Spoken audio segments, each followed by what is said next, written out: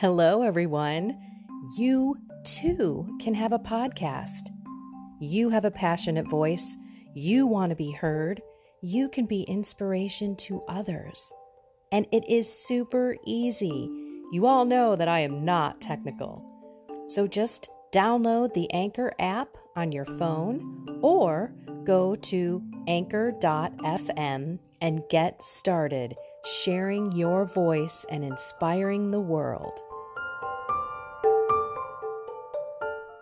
Hello, I'm Kendra Von Esh, and you are listening to my 10 minute daily podcast, Reality Reflections. I bought into what this world said would make me happy money, prestige, power. And hey, if it feels good, do it because life is stressful, so party hard. Do whatever makes you happy. But that didn't quite work out because I felt even more insecure, full of fear, shame, and anxiety, and never, ever good enough. Then God found me and flipped my reality upside down and transformed my life. And I want this for everyone. So I left my executive career to help others find true acceptance, supernatural peace, joy, and love that only comes from a relationship with God. Here is my reality reflection for today. Today, we learn a lot about doing things with love. Kind of the opposite of just saying, well, if I don't break any of the Ten Commandments, I'm going to go to heaven. I'm going to read the readings because they really ring true. And we have to remember that no matter what we do, St. Paul said this no matter what we do, if we don't do it with love, if we don't say anything with love, if we don't listen with loving ears and a loving heart, everything that we do is just going to be a banging gong, noise, activity, hustle bustle doesn't mean anything if we don't have love. This is part of the two greatest commandments. Let's check it out, shall we? All right, I'm going to read both readings. I'm going to read the because they're pretty short. Reading number one, Galatians 5 1 through 6. Brothers and sisters, for freedom, Christ set us free. So stand firm and do not submit against to, whoop, darn it. Rewind. Brothers and sisters, for freedom, Christ set us free. So stand firm and do not submit again to the yoke of slavery. It is I, Paul, who am telling you that if you have yourselves circumcised, Christ will be no benefit to you. Once again, I declare to every man who has himself circumcised that he is bound to observe the entire law. You are separated from Christ you who are trying to be justified by the law, you have fallen from grace. For through the Spirit, by faith, we await the hope of righteousness. For in Christ, neither circumcision nor uncircumcision counts for anything, but only faith working through love. Isn't it funny where you hear the faith versus works? We cannot have faith in Jesus and not respond. Excuse me, I'm clearing my throat because I don't have my other app open right now to mute it. That's the deal. Everything with love, but faith working through love. We are supposed to respond. We are supposed to react to the encounter of Jesus Christ. We are supposed to build that relationship. We are supposed to love Him and love others. It's not about the law. yes, what what St. Paul's basically trying to do is he's saying, look, there's 600 and something. I think it's 613 laws. I got to look that up. But any 600 and something is way too many. And the Jews said, well, hey, you have to live by these laws in order to be saved. So that's basically what Paul's saying is it's not about the law. It's about the love and our faith and the Spirit within us working our salvation out through trembling here on earth. So we get out of that slavery of sin, we don't fall back into it. Okay, let's do the gospel. Luke 11, 37 through 41. After Jesus had spoken, a Pharisees invited him to dine at his home. He entered and reclined at the table to eat. The Pharisee was amazed to see that he did not observe the prescribed washing before the meal. The Lord said to him, Oh, you Pharisees, although you cleanse the outside of the cup and the dish, inside you are filled with plunder and evil. You fools! Did not the maker of the outside also make the inside? Excuse me. But as to what is within, give alms, and behold, everything will be clean for you. Okay. It's what comes out of us that defiles us. It's not what we put into our bodies, it's not the law, it's us loving. I remember in the journey, God is love, love, love, love, love, love. I didn't know that love. I didn't. Yes, I felt that love in my experience and being away from reconciliation for 26 years. I had a mystical sense of God. I did have this joy, this spirit within me that kind of never left. But I but that love and my love for other people and looking at people and just loving them was definitely something that grew for me. And it came within the same time that I was trying to be a better person, asking God into my heart.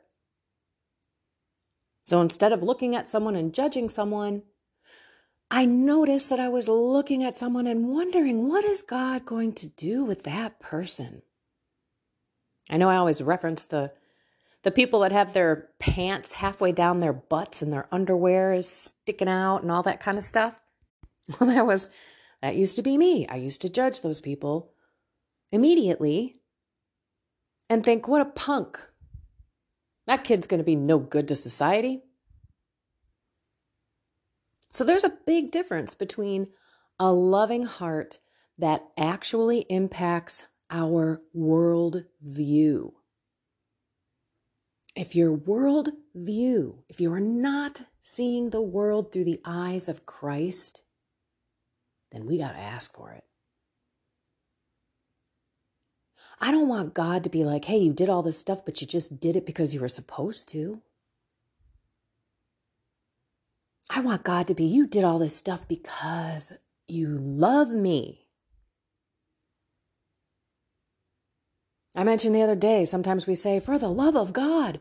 That's a phrase for a reason. We should be doing things for the love of God, but we've made it into some sort of, you know, phrase that we say when we're mad at someone or we want someone to do something. For the love of God, do this or shut up or whatever the case may be. Hopefully, you're not telling anyone to shut up.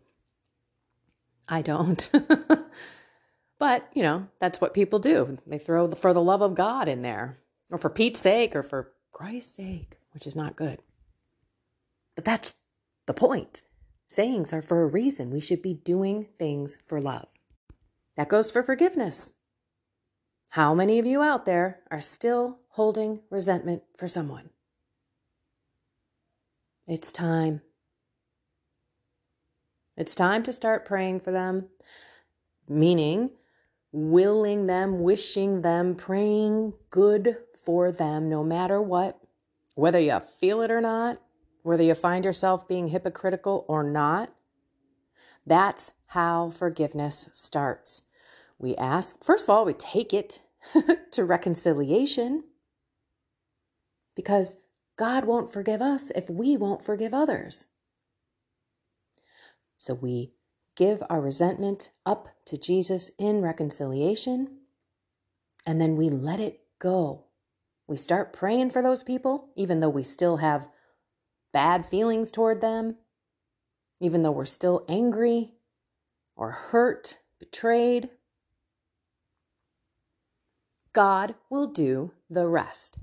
God will change your heart, and one day you'll be praying for that person, and all of the sudden you'll actually mean it. Or you'll see these people and you'll realize they are human. Or maybe they're not even apologizing. Maybe they could care less. Maybe your relationship has completely gone to the wayside. They moved to another side of the country. You don't even know where they are. You haven't talked to them in decades, but you're still mad. You're still upset. What we have to do is look at people and know that they are broken too. All I have to do is look back in my life and say, wow, all of the amazing graces and blessings, transformation in my life has been beyond my belief. I was more broken. I was shattered into a thousand little pieces. Kind of like what we need to do to the CIA if you listen to JFK. Sorry. That was his quote. But I was broken. You're broken. We're all still, I'm still broken. I'm not put back together. And I break myself. I bust myself up into pieces because of my own stupidity and my own selfish desires and impulses and stuff. But it's all about love. So we're going to stop. We're going to pray. We're going to ask the Lord to fill us with His love, to change our hearts.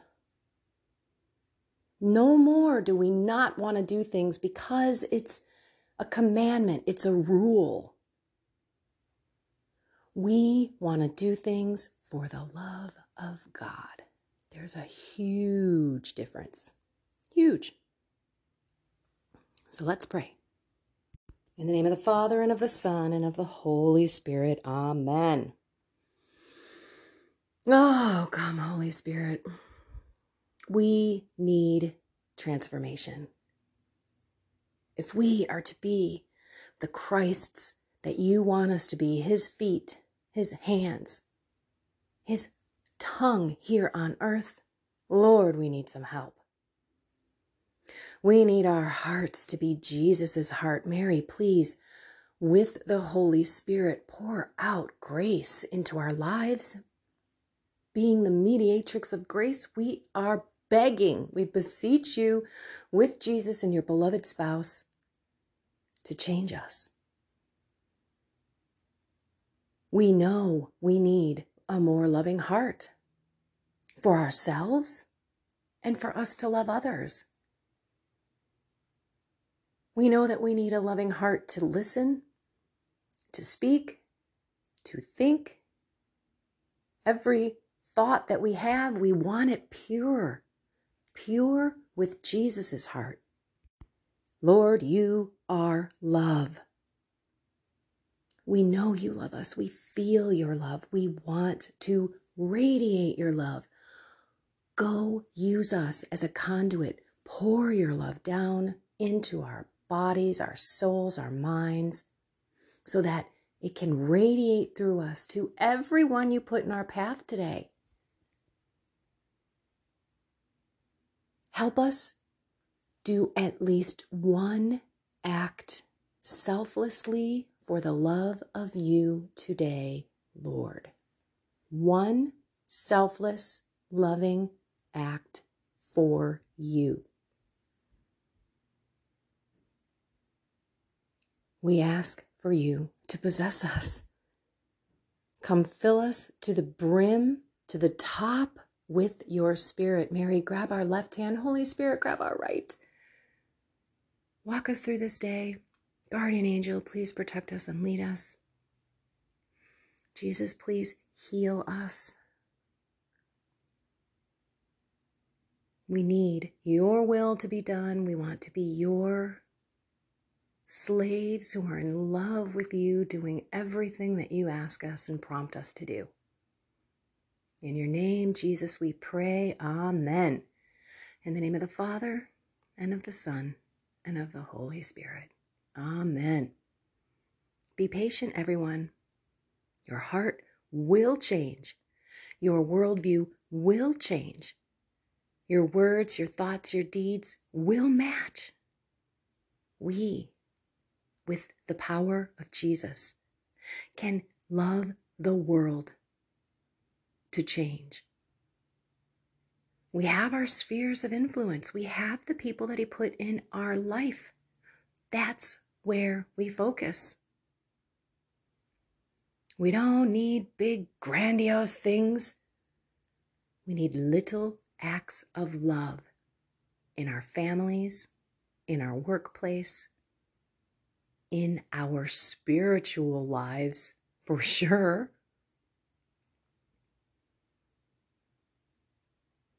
Ah, Lord, I am just amazed at what you have done in my life. And I just pray that you work in everyone that hears my voice right now. You work in their souls in a big way. Thank you yesterday, Lord, for having me actually feel my audience in that prayer. It was intense, y'all. I hung up, hung up, disc- I ended the podcast yesterday and I was crying for another three, four, five minutes. I couldn't believe it. We're in this together. It's awesome, isn't it? all right, everyone. I love you all. Go be love. Find something more with God, that love that you're needing in your heart. Have a blessed and inspired day.